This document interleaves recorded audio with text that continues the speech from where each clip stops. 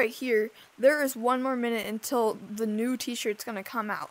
And I know what it is. It's gonna be the Doug t-shirt. And how I know, it's because there is a mod. Elliot used it too, so he could see all the uh, shirts that have not been released yet.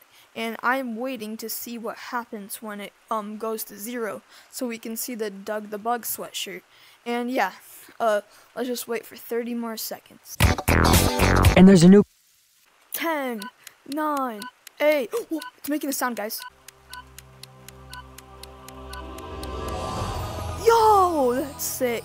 See, uh, I like it too, but that was pretty cool. That was a really cool surprise to the new update. Otherwise, I just gotta tell you,